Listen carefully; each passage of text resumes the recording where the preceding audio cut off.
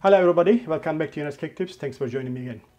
Today I'm going to show you, as I promised before, how to make a homemade mascarpone cheese.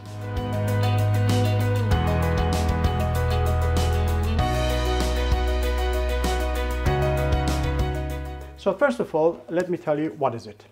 Mascarpone cheese is an Italian cheese that from the uh, region called Lombardy. So, but you can find this all around the world now very easily.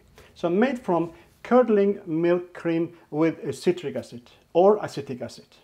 So it is thick, creamy, a soft cheese with a very high fat content, about 60 to 75%.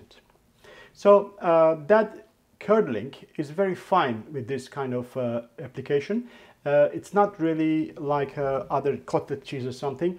It's just a very, very fine curdling. It turns still creamy as a result. So it is very expensive to buy it, but it's very easy to do it.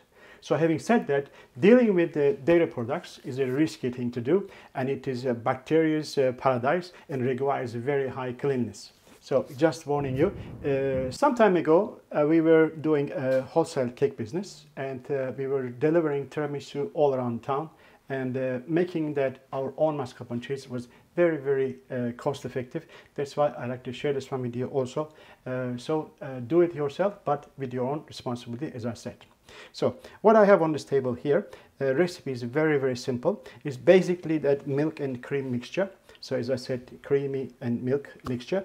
Uh, I have a 600 gram uh, thickened cream here, but you can also use normal uh, fresh uh, whipping cream. It's about 35% uh, fat inside here. And we have also uh, 600 gram milk, but I'm not going to use the milk today. I'm using instant uh, milk powder, which is 75 gram, and mixing with 500 gram water, it makes it also about almost 600 gram milk. So I have 3 gram citric acid powder here, and uh, very important, I have a sieve with a very special cloth. This cloth is not a muslin cloth, not cheesecloth, because the uh, cheesecloth or muslin cloth is called very, uh, very, it's not very fine enough. It, it just goes through that it's not going to be happen what we want to happen. It is a, a very fine cloth, uh, same as like uh, people using for pillowcases. So that is what you need to do. All right. So uh, let's start doing it now. So what do we have to do, we have to put everything into the bowl. 600 gram of the cream.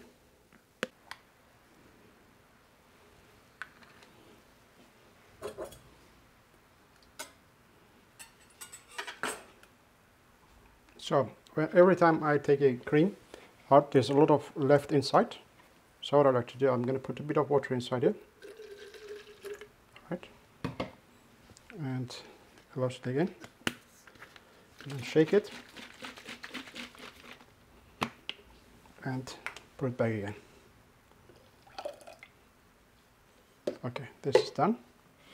Then we put uh, milk powder into the water because it's instant it will immediately mix it to the milk without heat.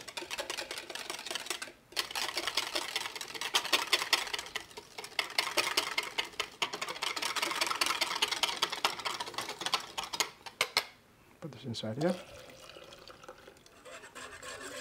That's it. So all what we have to do now we have to bring this one to the boiling temperature all right of course, it's like uh, you have to time to time mixing. So it's already boiling. I switch off. Now the whole trick is now uh, I'm to wait till this milk and cream mixture become exactly 60 centigrade degrees. So otherwise, will the curdling will not gonna done accordingly, not gonna done properly. So what you have to do, if you leave this uh, milk and cream mixture like this, it will eventually go to 60 degrees. You can measure with this, like for at the moment it's about 81 degrees because just boil and we stop it, all right, 81 degrees. So, uh, but it will be a skin on top. So that means every uh, couple of minutes we come back and then sort of like give a bit of like a, a motion on the top so it doesn't uh, let the uh, milk and cream mixture become a, a, skin on top. So that's what I will do. And then when it's become 60 degrees, I'll be with you and then show you how to mix together. Okay, now around half an hour passed and uh, uh, it's almost almost there. Uh, we could have also done this one uh, pouring right away into the another bowl, cooler bowl. It will speed up the bit process. And also you can also soak it into the icy water. You can also do that, of course. So I had half an hour time. I just left it alone and then come to time to time I came and mix it together. It was okay. So let's check the temperature. It's about 60.1. This is just right. All right. So let's prepare this one. Uh, I put the cloth, just one layer like this, put it in here, right? And then 3 gram citric acid powder goes inside here. All right. Quickly mix.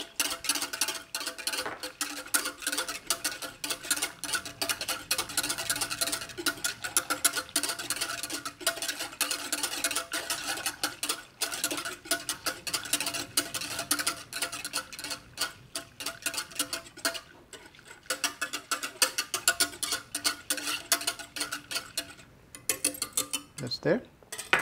Then I pour this one here on top.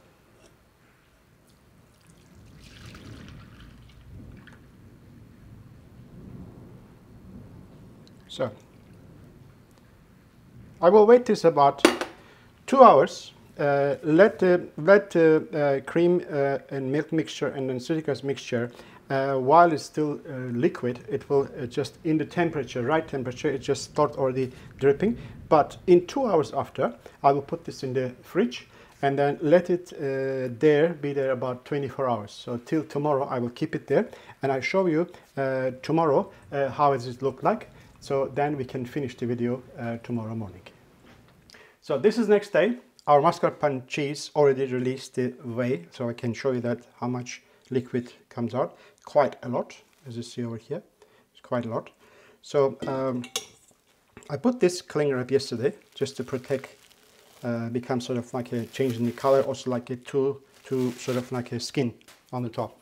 All right, so uh, actually uh, this is a little bit more softer and lighter version. At the same time, more economical version because we're mixing milk with cream, so milk is cheaper than the cream, etc. If you like to have firmer one, so, but at the same time, heavier one. So this is a good thing and at the same time, disadvantage of being heavy uh, result. So you can uh, reduce the milk and increase the cream. Or you can leave the milk completely out and you can use only the cream. So it will achieve, of course, much more firmer texture. So that is just right for my purpose, what I'm going to use this one as a tiramisu cake. And I will also add a little bit of gelatin inside at the same time. So the total amount here 1.178 kilo, so 1178 gram. So I like to measure now and let you know exactly how much left from this amount so you can make your calculations accordingly. All right. So uh, this is what we do. Take this one like this on the side. The side. Make sure your table is really, really clean. All right. And then take it out and take it here and put it on the table like this. All right, that's beautiful. All right, and take this one and then just get it up in the middle. All right.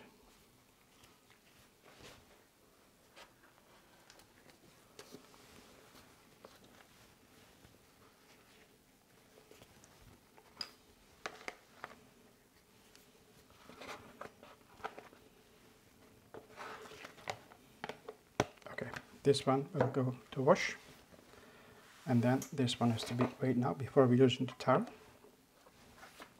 Right how much is it? 613 gram. So almost half is gone. I just write over here. Let's say about if I wait a bit longer it will be 600 gram. All right now it's time to clean a little bit I just give a couple of whisking motions. It turns very quickly from runny texture to the uh, creamy texture. I don't want to whisk too much because I want to keep this tolerant when I'm mixing something else into it, like uh, I will mix sabayon for tiramisu, for example. So uh, that is not a really problem. Uh, now, this mascarpone cheese is ready now for my tiramisu cake. Not only that, you can also use mascarpone cheese for endless number of recipes. It can be involved in baking, like a, a baked cheesecake or cream cheesecake, ice creams, parfait, filling, topping, and many more, including just as it is. You can just take it as a spoon, put on the side of a dessert or a cake. Uh, so just replacing rosette of cream. Now it's time for me to set up for my tiramisu cake. I'll see you on my next video guys. God bless you all. Until to my next one. Bye for now.